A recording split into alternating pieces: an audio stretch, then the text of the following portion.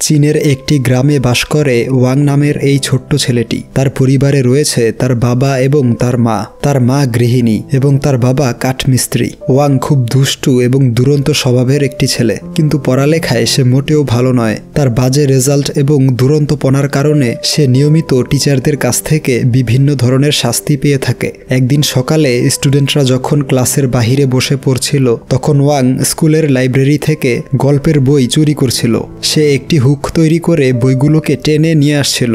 তখনই স্কুলের principal mister in এসে তাকে ধরে ফেলে। মিস্টার ইন হচ্ছে ওয়াংয়ের সবচেয়ে বড় হেটার। সে ওয়াংয়ের ক্রিয়েটিভিটিগুলোকে মোটেও সাপোর্ট করে না। সে তাকে অফিস রুমে নিয়ে এসে তার গল্পের বইগুলো আবারও নিয়ে নেয়। আসলে এই বইগুলো ছিল ওয়াংয়ের। মিস্টার ইন বলেছিল, যার কাছে যত গল্পের বই আছে, সবগুলো স্কুলের লাইব্রেরিতে জমা দিতে। এক মাস পর বইগুলো ফিরিয়ে দেয়া হবে। কারণ কয়েকদিনের মধ্যেই এডুকেশনাল ডিপার্টমেন্ট তাদের স্কুলের লাইব্রেরি পরিদর্শন করতে আসবে। আর তাদের লাইব্রেরিতে পর্যাপ্ত পরিমাণ বই নেই। এই শুনে ওয়াং বলে, সে তার কাছে থাকা সমস্ত গল্পের বইগুলো লাইব্রেরিতে দিয়ে দিবে। তাই সে তার মায়ের সেলাই মেশিনের মধ্যে লুকিয়ে রাখা গল্পের বইগুলো এনে স্কুলে জমা দিয়েছিল। কিন্তু কয়েক মাস কেটে যাওয়ার পরেও তিনি তার বইগুলো ফিরিয়ে দিচ্ছিল না। এজন্যে সে প্রায় সময়ই তার বইগুলো চুরি করে নেয়ার চেষ্টা করে। মিস্টার ইন বলে, সামনের পরীক্ষায় যদি তুমি পাশ করো, তবেই বইগুলো ফেরত দেওয়া হবে। এরপর তাদের চাইনিজ টিচার মিস জাওকে দেখানো হয়, যে ছিল সাত মাসের প্রেগনেন্ট ক্লাসে সে বাক্য গঠন সম্পর্কে পড়াচ্ছিল। সে জিজ্ঞাসা করে, কে পারবে বাক্য গঠন করতে? তখন ওয়াং দাঁড়ায় এবং মিস জাওয়ের মোটা পেট নিয়ে একটি বাক্য গঠন করে।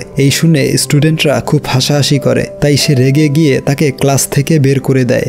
একইভাবে পরের ক্লাসেও মিস্টার ইন তাকে সবার পেছনে দাঁড় করিয়ে রাখে, কারণ সে খুব সহজ একটি গণিতের সমাধান করতে পারেনি। টিচার বলে, তোমার ক্লাসমেট জিয়াকে দেখো, সে প্রতিটা সাবজেক্টে টপ করে, আর তুমি একটা সাবজেক্টেও পাশ করতে পারো না। আজ থেকে তুমি তাকে ফলো করবে। তাই ক্লাস শেষে ওয়াং জিয়ার পিছু করতে থাকে। এতে জিয়া বিরক্ত হয়ে যায়। ওয়াং বলে, টিচার বলেছে তোমাকে ফলো করতে, তাই তোমার পিছু ছাড়ব না। তাই জিয়া মিস্টার ইনের কাছে নালিশ করে। তিনি তাকে আবারও শাস্তি দেয়। টিচারদের কাছে শাস্তি পাওয়াটা ছিল ওয়াংয়ের ডেইলি রুটিন। এরপর স্কুল শেষে ওয়াং একটি মাঠে আসে। সেখানে ছিল একটি বিশাল বড় গাছ। প্রতিদিন স্কুল শেষে ওয়াং এই গাছের কাছে চলে আসে। তার কাছে এই গাছটা হলো তার আরেকটি ঘর। সে তার খেলাধুলার সমস্ত সরঞ্জাম এই গাছে এনে রেখেছে। প্রতিদিন কয়েক ঘণ্টা সে এখানেই কাটিয়ে দেয়। এটা হচ্ছে তার সবচেয়ে পছন্দের জায়গা। পরের ক্লাসে মিস জাওয়ের হোমওয়ার্ক ছিল। কিন্তু সে হোমওয়ার্ক করে আসেনি। তাই সে অন্য ক্লাসে এসে লুকিয়ে থাকে। যাও, তাকে খুঁজে বের করে এবং বলে, আজ হোমওয়ার্ক কমপ্লিট না করে বাড়ি ফিরে যেতে পারবে না। তাই সে বিকেল অবধি স্কুলে থেকে পড়া মুখস্থ করে। এরপর যখন মিস জাওয়ের রুমে নক করে, তখন তার পরিবর্তে একজন সুন্দরী মহিলাকে দেখতে পায়, যার নাম মিস ফ্যাং।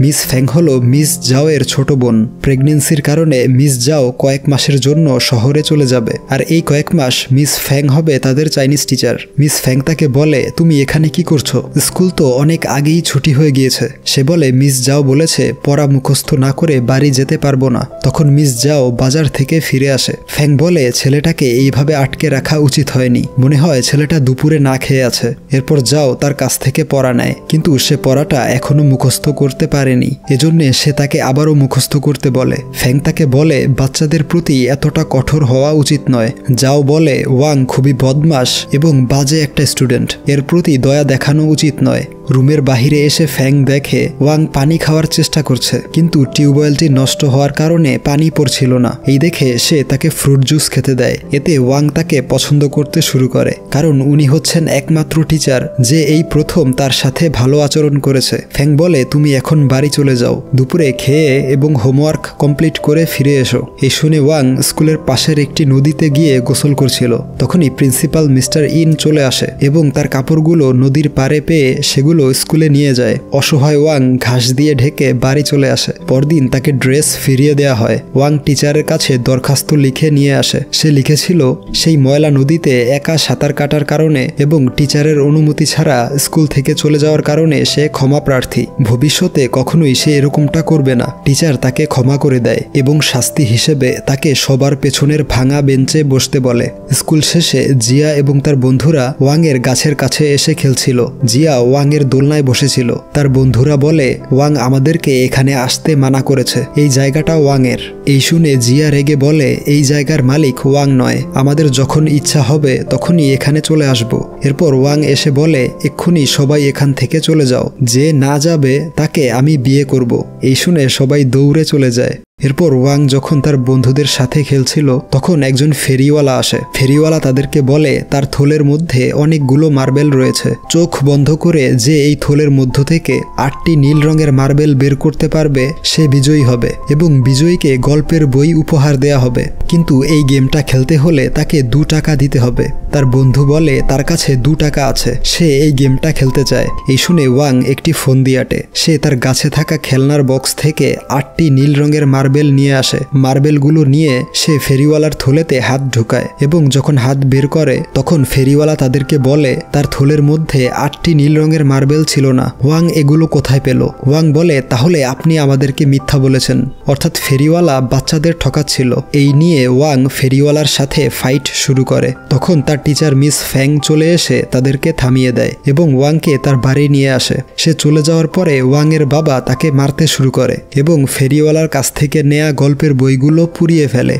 পরদিন মিস যাও শহরের উদ্দেশ্যে বেরিয়ে পড়ে। মিস্টার ইন ক্লাসে এসে বলে, আজ থেকে আগামী কয়েক মাস মিস ফ্যাং হবে তোমাদের চাইনিজ টিচার। ফ্যাং দেখতে পায় ওয়াং একদম পেছনে একা বসে রয়েছে। তাকে জিজ্ঞেস করলে সে বলে, মিস যাও তাকে এই শাস্তি দিয়েছে। তখন ফ্যাং তাকে আরেকটু সামনে এসে বসতে বলে। ফ্যাং বুঝতে পারে বাচ্চাদের গল্পের বই পড়ার অনেক ইচ্ছা থাকলেও টিচাররা তাদেরকে গল্পের বই পড়তে দেয় না। ফ্যাং বলে, গল্পের বই পড়াটা দোষের কিছু নয়। স্কুলের পড়া কমপ্লিট করে গল্পের বই পড়তে পারো। এতে গ্রামার এবং রাইটিং স্কিল ইম্প্রুভ হবে। এই বলে সে লাইব্রেরি থেকে গল্পের বই নিয়ে আসে। ফ্যাং বলে, তোমাদের মধ্যে যে কোনো একজনকে এই বইগুলোর দায়িত্ব নিতে হবে ঠিক লাইব্রেরিয়ানের মতো। যার কাজ হবে স্টুডেন্টদের বই বিলি করা এবং সময় মতো তাদের কাছ থেকে বইগুলো নিয়ে লাইব্রেরিতে জমা দেয়া। ওয়াং সেই দায়িত্বটি পাওয়ার জন্য তার কাছে রিকোয়েস্ট করতে থাকে। তাই সে ওয়াংকে লাইব্রেরিয়ান বানিয়ে দেয়। অর্থাৎ এখন থেকে ওয়াং সকল বাচ্চাদের কাছে গল্পের বই আদান প্রদান করবে। সে এই কাজটাকে খুবই দায়িত্ব সহকারে পালন করে। গল্পের বইয়ের জন্য সবাই তার উপর হুমড়ি খেয়ে পড়ে। সে নিজেকে স্কুলের সেলিব্রিটি ভাবতে শুরু করে। এই ব্যাপারটা গর্ব সহকারে তার বাবাকে বলে। তার বাবা বলে, পড়ালেখায় মনোযোগ দাও, এসব করে লাভ নেই। পরবর্তী সিনে দেখা যায়, ওয়াং মিস ফ্যাংয়ের কাছে এসেছে গল্পের বই নিতে। কিন্তু ফ্যাংয়ের খাটের পা ভেঙে যাওয়ায় ওয়াং তার বাড়ি থেকে কাঠ এনে খাটটি ঠিক করে দেয়।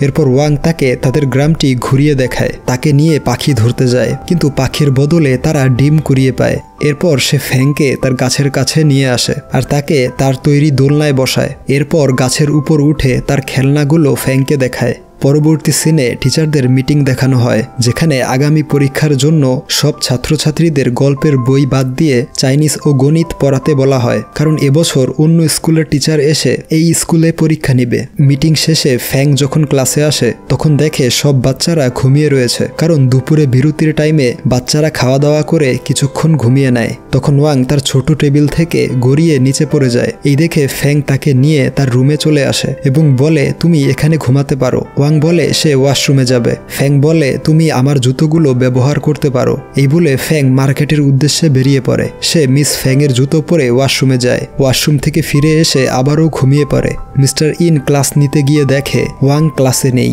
স্টুডেন্টরা বলে, সে মিস ফ্যাংয়ের রুমে ঘুমিয়ে রয়েছে। মিস্টার ইন এসে তাকে ঘুম থেকে উঠিয়ে কান ধরে ক্লাসে নিয়ে আসে পরদিন ওয়াং ফ্যাংয়ের কাছে গল্পের বই নিতে আসে, কিন্তু সে আর তাকে বই দিবে না। এই শুনে ওয়াংয়ের মন খারাপ হয়ে যায়। ফ্যাং বলে, তুমি যদি আগামী পরীক্ষায় সেভেন্টি পার্সেন্ট মার্ক তুলতে পারো, তাহলে তোমাদের সবাইকে আবারও গল্পের বই পড়তে দিব। তাই সে খুশি হয়ে লেখাপড়া শুরু করে দেয়। সে পড়াশোনায় এত বেশি মনোযোগী হয় যে আগে যেই গাছে বসে সময় কাটাতো, এখন সেখানে বসেও পড়তে থাকে। সে রাত জেগে পড়ে। স্কুলের খেলার সময়ও এক কোণে বসে পড়তে থাকে। এভাবে পরীক্ষার দিন চলে আসে। পরীক্ষার দিন সকালে টেনশনে সে গাছে বসে তার পুরো শরীরে নকল লিখছিল। তখন মিস ফ্যাং এসে তাকে লেখাগুলো ধুয়ে ফেলতে বলে, আরও বলে, নকল না করে ততটুকু লিখবে যতটুকু তুমি নিজে পারবে। এটা তোমার ভবিষ্যতে কাজে দিবে। এরপর পরীক্ষা শুরু হয়। ওয়াং কোনো কথা না বলে লিখছিল। তখন মিস ফ্যাং ক্লাসে পর্যবেক্ষণ করতে আসে। ওয়াং তার হাত, পেট ও পায়ের কাপড় তুলে মিস ফ্যাংকে দেখায় যে সে নকল করেনি। পরবর্তী সিনে রেজাল্ট সিরিমনি দেখানো হয়, যেখানে মিস্টার ইন এত দীর্ঘ সময় যাবৎ অদ্ভুত বক্তব্য দেয় যে সবাই ঝিমাতে শুরু করে। পরে প্রাইজ দেওয়া শুরু হয়। স্কুলের সেরা পাঁচজন স্টুডেন্টকে সম্মানস্বরূপ সার্টিফিকেট দেয়া হয়। কিন্তু ওয়াংকে সার্টিফিকেট দেয়া হয় না, কারণ সে সেরা পাঁচজন স্টুডেন্টের ভেতর ছিল না। কিন্তু সে সেভেন্টি পার্সেন্ট মার্ক তুলতে পেরেছে। যে স্টুডেন্ট সব সময় ফেল করত, সে নিজের চেষ্টায় এত ভালো রেজাল্ট করেছে। এজন্যে মিস ফ্যাং সাদা কাগজে তার লিপস্টিক দিয়ে একটি সার্টিফিকেট তৈরি করে। ক্লাসের সবার সামনে তাকে সেটা উপহার দেয় এবং তার পিকচার তুলে নেয় এতে ওয়াং প্রচণ্ড খুশি হয় এবং সবার সামনে তার সার্টিফিকেটটা শো অফ করতে থাকে। ওয়াং যখন বাড়ি এসে তার মা বাবাকে সার্টিফিকেট দেখায়, তখন তার মা অনেক খুশি হলেও তার বাবা বলে, এটা অফিসিয়াল সার্টিফিকেট নয়, এটা তোমার টিচার নিজে তৈরি করে দিয়েছে। পরের পরীক্ষায় তোমাকে অফিসিয়াল সার্টিফিকেট অর্জন করতে হবে। পরদিন সকালে সে গাছের ডালে বসেছিল। তখন তার বন্ধুরা তার জন্য ক্যান্ডি নিয়ে আসে। ওয়াং ব্যাগটা নিচে নামিয়ে দেয় এবং বলে, ক্যান্ডিগুলো ব্যাগের ভেতর দিয়ে দাও। তার বন্ধুরা বলে, আমাদের পরীক্ষা শেষ হয়ে গিয়েছে। তাই তুমি মিস ফ্যাংয়ের কাছ থেকে আমাদের জন্য গল্পের বই নিয়ে আসবে। ওয়াং তাদের কথায় রাজি হয়ে যায়। তারা ওয়াংকে রাজার মতো গাছ থেকে নামায়। তারা সবাই প্রজার মতো তার পিছু পিছু চলে আসে। সে বলে, তোমরা এখানে দাঁড়াও, আমি গিয়ে বই নিয়ে আসব। তখন মিস্টার ইন বলে, ফ্যাং তার বন্ধুর সাথে দেখা করতে গিয়েছে এই বলে সে তাদের তাড়িয়ে দেয়।